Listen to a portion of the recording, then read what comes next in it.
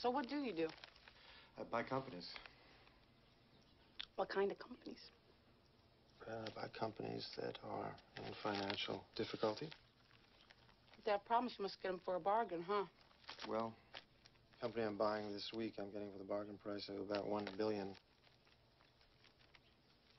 A billion dollars? Yes. Wow. You must be really smart, huh? I only got through 11th grade. How far did you go in school? I went all the way.